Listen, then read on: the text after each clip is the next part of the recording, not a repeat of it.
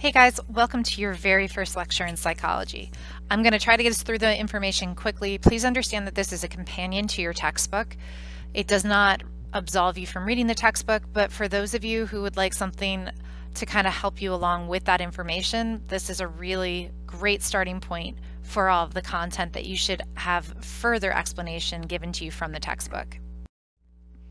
First thing we'll talk about is the definition of psychology. So when we're talking about psychology, we're talking about a scientific study of a behavior and a mental process. And yes, I see my typo, just ignore it. When we talk about a behavior, it's anything that is directly observable. So when people hear behavior, they think, why did the person behave? And that's not a psychological way of thinking about behaviors. In psychology, behaviors are what you can see. I can see a dog salivate. I can see a person sweat. I can even see a person fidget with their fingers, but what I can't say is the sweat came from them exercising or the sweat came from them being nervous. I can't say the fidgeting fingers is an indication of anxiety. All I can say is what I see. I saw the dog salivate. I saw the person fidget. I see the person sweat.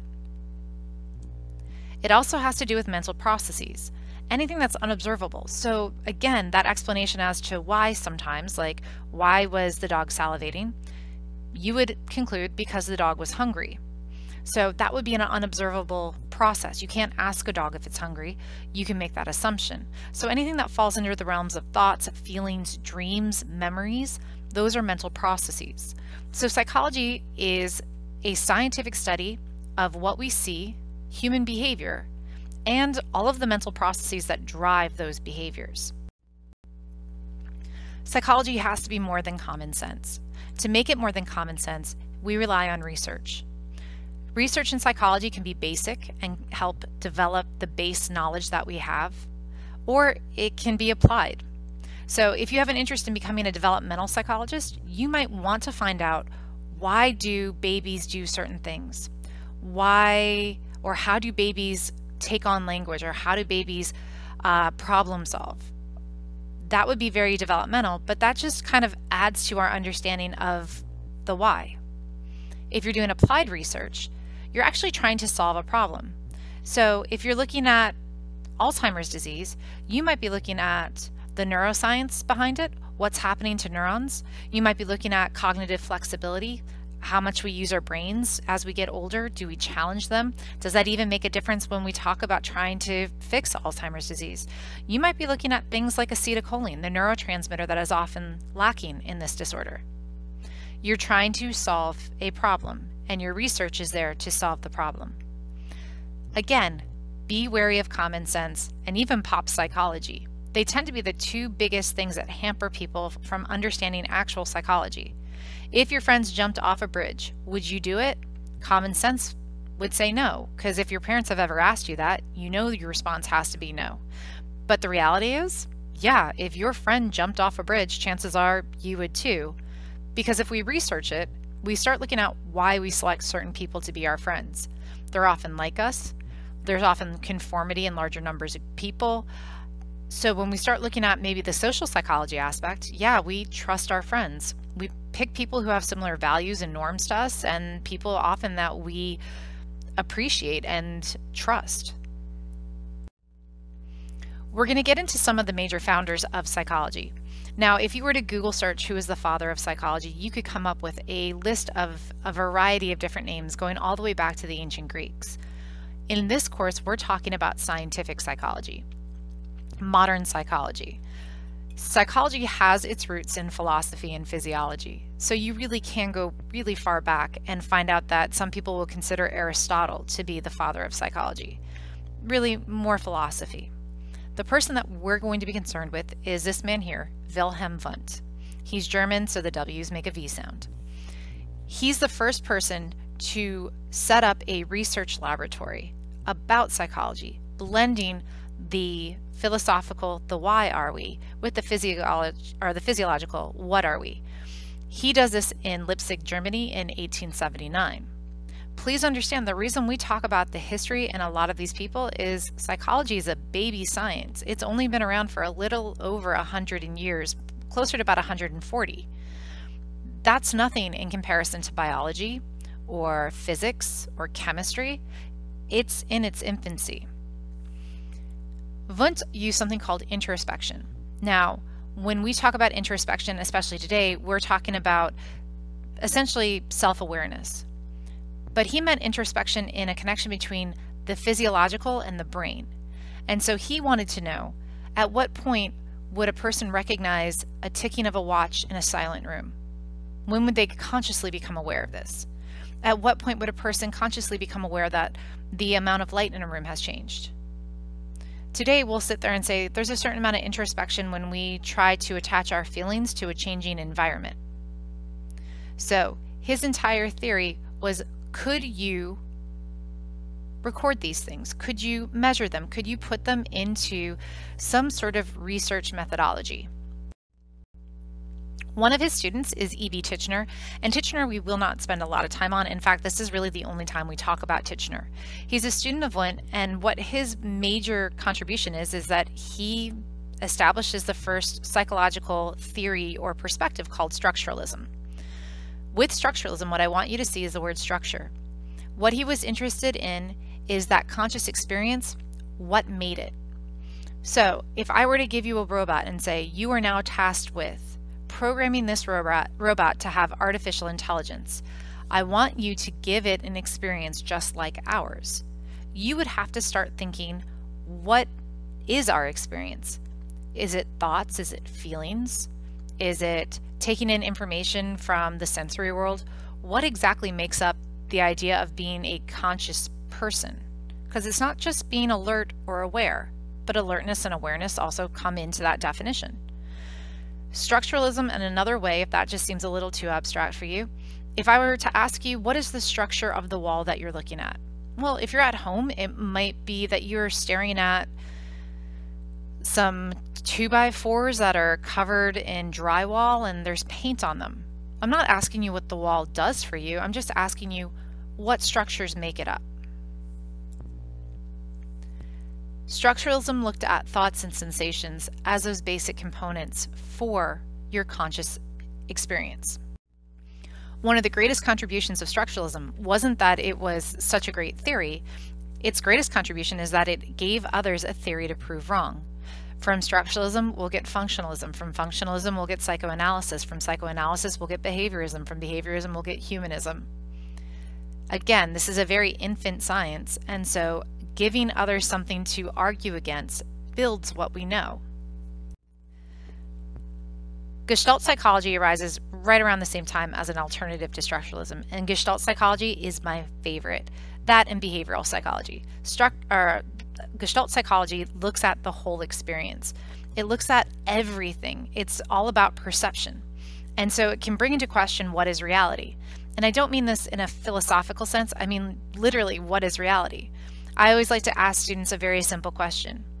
Which travels faster, a light wave or a sound wave? Now, I don't know how well this is going to read over the internet, but in a classroom it makes sense.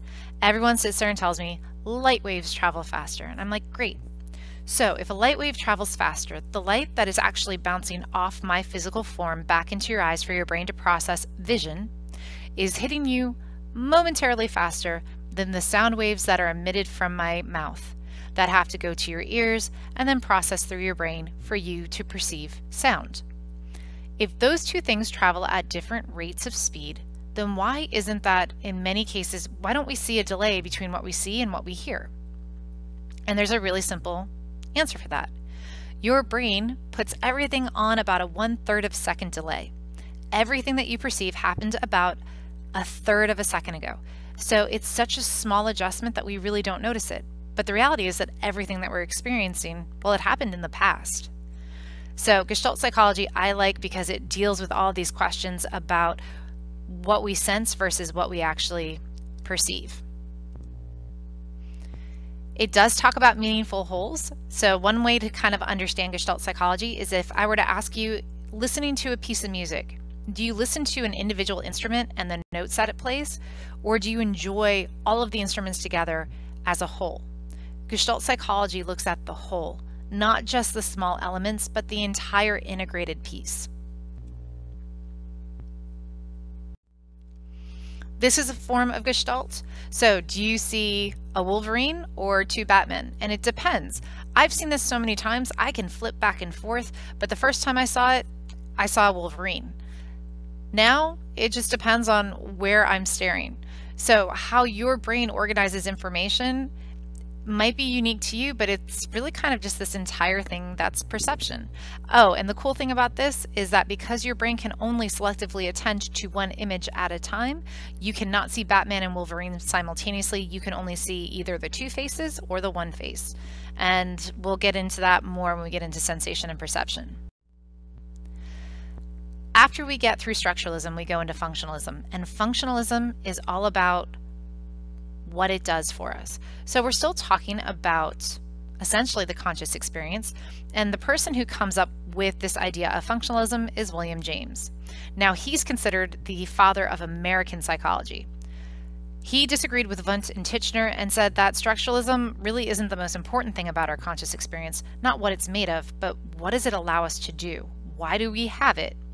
And in 1890, he was the first person to write a textbook in psychology called The Principles of Psychology. He stated the goal of psychology was to study the functions of consciousness or the ways consciousness helps people adapt to their environment. So, not what is it, but why do we have it? Our conscious experience is different than that of other animals in the animal kingdom. That's not to say that your dog or your cat isn't aware of what's going on, but they don't necessarily have the same level of concern that we have for people that aren't part of our pack or our pride. They don't necessarily think the way that we do, so their conscious experience is slightly different than a human experience. We're very unique within the animal kingdom. Functional psychology why do we have a conscious experience? What function does it provide? So it looks at mental life and behaviors in terms of what it allows us to do, what adaptive abilities has it given us. A really interesting way of looking at it would be the idea of pain pain is actually a mental construct. It's a bunch of information coming from your body to your brain, and it's your brain that makes you feel pain, which is why if we give you a certain drug and we don't let the neurotransmitters in your brain go and we don't let the neurons communicate, you don't feel pain. So, why do we have pain? What's the the function to that? And the answer is pain reminds us that we have somehow really damaged our body and we need to stop. I always call it the hey stupid button. It basically, if you've ever twisted an ankle, you put weight on that and your brain immediately goes, hey stupid, get off the ankle. That's why it's there. It has a purpose, a function to serve us, and it's one of our best teachers. After functionalism, we get Sigmund Freud. Now, I have some strong feelings about Freud, um, mostly because almost everything he's ever created was proven wrong later. And everybody loves Freud because he just talks about the weirdest stuff and it's repeated in English classes and everyone thinks it's amazing. And there's some pretty strong problems with it. So, first off, he is not the father of psychology. He might be one of the most well known, and honestly, that's probably his greatest contribution. Everybody knows of Freud, or has heard of it, or has seen um, somewhere in a meme or a TV show or somewhere in pop media someone laying on a couch talking to a person behind them and telling them all their problems. That's Freud. So, Freud didn't like functionalism and did not like structuralism because they didn't talk about your unconscious. He felt that there was something deep residing in us that we couldn't connect with. It was hidden from us. So he creates what's called the psychoanalytic perspective, psychoanalysis, and sometimes called the psychodynamic perspective. He's the first one to talk about personality theory, which back then was very, very philosophical and theoretical, and today actually a lot more scientific. He wanted to understand what happens. How do we behave literally in the emotional sense what fuels it. And he says that it often comes from unconscious drives and conflicts within ourselves. And we'll get into Freud. Freud is some weird stuff, but the unconscious drives, he would say things like, you behave a certain way because you have a resentment towards a parent, but that resentment's too much for you to deal with, so you hide it in your unconscious, but that's why maybe you don't seem to agree with them very often. Or he might say, that's why you always agree with them it, it can get really kind of confusing. Most people have heard of some Freudian psychology, a Freudian slip. So the when you say one word and you mean another, or in this case when you mean your mother, because he had a really big issue with moms, um, you might sit there and accidentally tell the person checking you out at the grocery and when they say have a good day you say i love you and you're like oh i didn't mean to say that. Freud would sit there and say that that's a freudian slip that it's a window into your unconscious. What the rest of us would say in modern psychology is that essentially you have a pre-programming for certain re- phrases and responses and you just tripped the wrong wire. And so the wrong response came out because you probably weren't paying attention he came up with lots of other things that you may have heard of before, like free association. So while this comic down at the bottom is not really all that funny, it gives you this kind of idea of how he did a lot of his therapy, which was free association. So he thought that everything happened from abnormal or any abnormal behavior happened from early childhood experiences, traumas, over parenting, things like that. We would say today that yes, early childhood experiences matter, but we're often acutely aware of them. He relied on the subject's observations, and one of the biggest knocks to Freud is that this is all observational theory. He didn't really do any systematic research. And again, free association, he would ask people to do things like just to start talking and to say whatever came to mind. And eventually he would try to draw connections between the words that they left. Dream analysis. I know some of you guys are super excited about this and you're like, oh, I'm going to figure out what my dreams mean they don't really mean anything. They're really good indications of what's stressing you out, but as far as them telling you something about yourself that you didn't know, unfortunately, that's just not real. Most of Freud's ideas, like I've said before, are out of date or disproved, but elements still exist, and even as you see in this cartoon right here, it tends to get referenced quite a bit. So Freud is known for something called the Oedipus complex he got the idea of the Oedipus complex from the story of Oedipus Rex. And I don't mean that he thought that that Greek tragedy was truth. It's just that he knew of this story and then he saw elements of what he thought was an example of this in young children.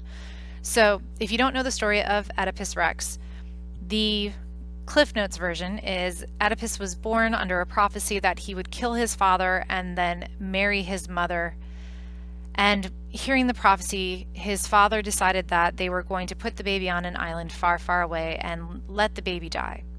Unfortunately, the baby doesn't die. He is found by a rival kingdom. That rival kingdom raises him, and as he gets older, he goes to war against his home country, not knowing that this is his mother and his father. He kills his father, and for the spoils of war, he takes his mother as his bride. So, most of us right now are all thinking, ick, that's disgusting and how in the world could that become part of anyone's theory of psychology? Well, Freud said that that little boy who's clinging to his mother's skirt and won't let go or seems overly attached to her, it's because he actually has a sexual desire towards her. As a mother, especially a mother of a young boy, that just grosses me out because that is not true. In fact, what we know now is that child that's in, you know, has a deep connection with their parent is probably a really healthy kid that they probably have a good sense of attachment and that as long as that child is willing to go out and explore the world they're okay. So we do look at freud and people really like to get into it. Later we'll talk about defense mechanisms. Um, if you've ever heard someone say i repress that that's all freudian psychology. Modern version of freud's theory the psychodynamic theory does still look at unconscious drives and conflicts, but is much more research based. So, yes, some unconscious thoughts, inner conflicts. If you've been stressing over something and then you see somebody who is the kind of crux of your stress and you immediately feel like you don't like them or you're immediately, your emotions change immediately from that, we would sit there and go, yeah, at an unconscious level, that kind of triggered it. There are other things that we'll talk about later, especially when we talk about memory and conditioning, that do have some elements of this kind of unconscious thought inner conflict. Some of the things that we'll talk about, will you marry your mother or father? I mean that in someone who is like that. And the answer is, well, yes and no. We tend to marry people who have familiar personalities. And if you like your mom or your dad, you may find someone who has your mother's confidence and your dad's sense of humor, but is not your mom or dad. we'll talk about defense mechanisms. All right, behaviorism. This is my other favorite. I like behaviorism because of the science. It's strictly scientific. When we talk about behaviorism, I probably should put John B. Watson up first because he's the father of behaviorism, but the man who got the ball kind of rolling in this perspective is going to be Pavlov. So many of you guys have probably heard of Pavlov's dog. Ivan Pavlov was not a psychologist, he's a Russian physiologist. He looked at how dogs' digestive secretions worked. But what he found out was that when he would walk past dogs, his footsteps often caused the dogs to salivate. And it was because the dogs would hear footsteps and they would anticipate food. And so he started looking at how a stimulus like footsteps could cause a physiological reaction like salivating when it could all be tied together with something that should normally cause the salivating, the food. So if you've ever heard of um, the salivating to a bell, what Pavlov later did was he would ring a bell anytime he presented the dogs with food, and eventually ringing the bell caused the dogs to salivate. This is all what we'll call associative learning. So we learn through associations. Again, here's Pavlov's experiment, and we'll talk more about this when we get into behaviorism. But this entire idea that you could bring something that has no power to cause a response, and as long as you tie it into something that always causes a response, you'll get that new thing to cause the same response. I know that sounds like a little weird and doesn't always kind of hold true, but if you guys have ever played the circle game, and I think some of you are probably trying to figure out what that is, if you've ever made kind of the OK sign with your hand and put it below your waist, if someone looked at that, you have the right to, well, you don't have the right, but you could go up and either neck them or they have to smack the back of their head. If you've ever met someone who's played this really silly game, and you make that hand gesture, watch them flinch or cringe. Or you can even ask them, Did your heart rate increase? Well, I should be able to walk around all day long going thumbs up or making A-OK signs without anyone having a physiological reaction. However, if that person has played this game and they know that if you look at that symbol made with the hand, that the next thing's going to happen is they're going to get slapped in the back of the head and that's going to hurt, the symbol now causes or triggers them to have a physical reaction. Then we get to Watson. So John B. Watson is the or the father of behavioral psychology, and I'll tell students if you need to remember why he is, just think John B. John Behavioral Watson, obviously not his real name. He does not like Freud. In fact, he says Freud talks about all of this unconscious stuff. Have him prove it. He says you cannot call this a science if you are going to study things that cannot be studied. And so psychology has to be purely objective. It has to look at just what is scientific. And so he makes behaviorism the purely observable, the most purely, purely scientific of the perspectives. He's famous for what we'll later talk about in classical conditioning, but he's famous for um, the baby Albert study. And in the baby Albert study, again, this is associative learning. Don't worry about having to memorize the study. We'll talk about this again when we talk about behaviorism. But baby Albert was a 18 month old child. He was given a small white rat and he found the rat interesting. Didn't fear the rat, just found the rat interesting, like any 18 month old baby would. What they would do is they would come up behind ba our baby Albert and they would make a really loud noise. They would take two pieces of metal and clang them together. Well, if you've ever been around a small child, making a really loud noise will startle them, and when they startle, they often cry. Well, for baby Albert, every time they brought the rat, they would make the noise. The noise would cause the baby to cry. They'd bring the rat, they'd make the noise. The noise would cause the, ba- or cause the baby to cry. They'd make or bring the rat, make the noise. Baby cries, and eventually, the baby sees the rat and starts crying. This study actually gives us some insights to how phobias might establish themselves. How a person may have a extreme fear of a dog after a single dog bite. Maybe this one time in their childhood, they got bit by a dog and it caused pain. And instead of going, all right, bite causes pain, they go, dogs cause pain. And it became what we'll call a conditioned emotional response. That you have a really strong emotional response to a conditioned experience. B.F. Skinner is another one, and for those of you guys who ever think you might become parents, this is the crux of every parenting video. Uh, if you don't think you'll ever become parents, but you might own a dog, this is the crux of every dog training video, and I'm not saying children or dogs, but I use this heavily with my own kids. B.F. Skinner looked at behavior modification through reinforcement and punishment. When we get to this, I'm going to show you guys that punishment actually does not increase good behavior. And reinforcement doesn't always mean getting a treat. There's positive reinforcement and negative reinforcement, positive punishment and negative punishment. In psychology, when we talk about positive and negative, we're not talking about good or bad. We're talking about the direction of travel or the addition or subtraction of something. Positive reinforcement, you get something. Negative reinforcement, you get to avoid something. So you get to avoid what you don't like, the behavior should increase. With punishment, positive punishment, a consequence is added that should decrease the behavior, and then negative punishment, something is taken away that should decrease the behavior. I have a 10 and an 11 year old, and I will tell you over the last decade, I have used more reinforcement techniques than I have punishment techniques. And it makes parenting much easier. And my kids know that if they don't behave well with the reinforcements, punishment does show up. So we'll talk about that, how we can modify, how we can reward, how we can change behaviors through a bunch of different systems. Behaviorist perspective, again, is all of those researchers that we just talked about, Watson, Skinner, Pavlov, and very specific wording that you should kind of pick up on anything that's observable, anything that's rewarded, anything that's punished, and anything that's associated.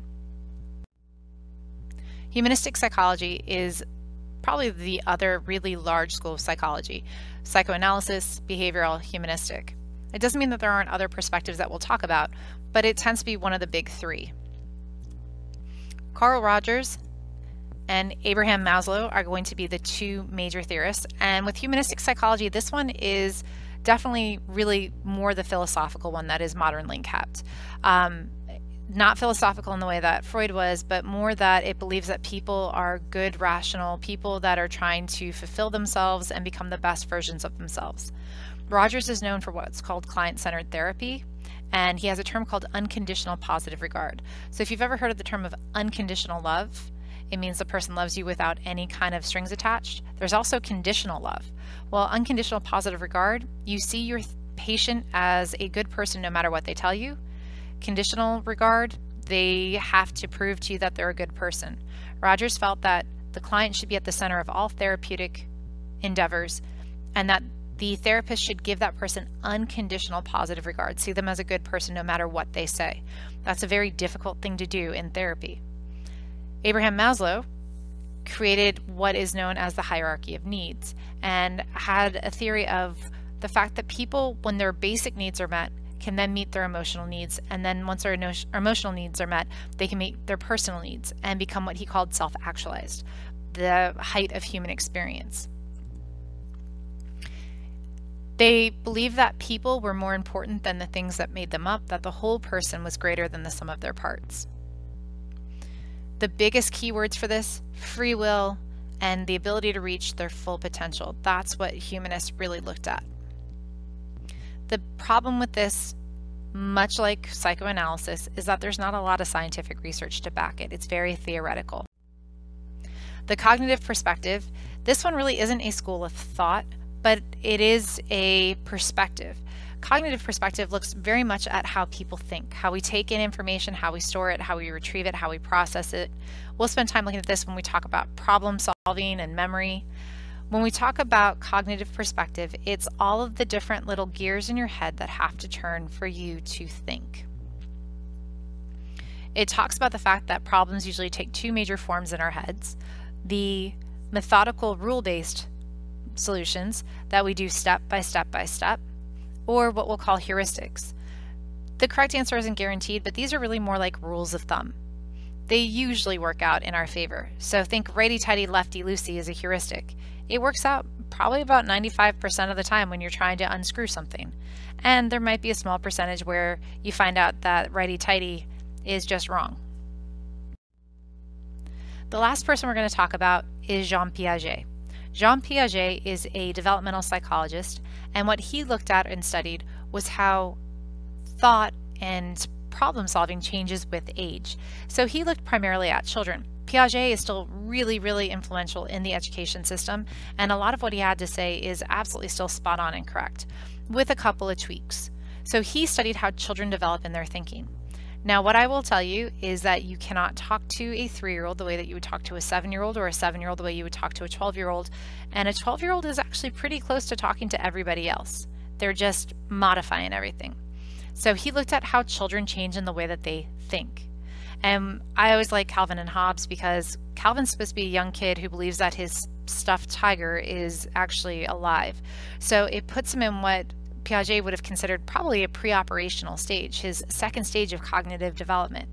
And it's fun because you see this, he puts the bread into the toaster, and then a few minutes, toast pops up. And Hobbes, who is essentially supposed to be Calvin's conscious, our consciousness, goes, Where did the bread go? And so you sit there and you go, Oh, this is really cool. He doesn't have the ability to reverse the thought and understand that the bread transformed to toast.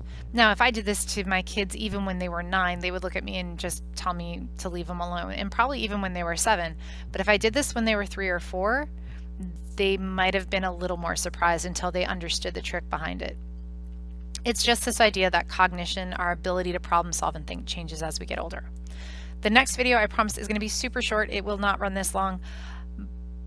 Please use this with your textbook to prepare for your quizzes and to understand all the content. We will be using and referencing a lot of these people as we go throughout the course.